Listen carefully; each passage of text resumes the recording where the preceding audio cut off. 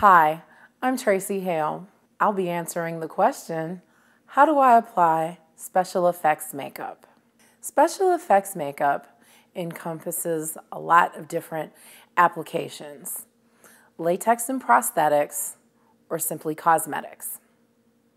I'll be demonstrating how to create a bruise using matte eyeshadows, two colors.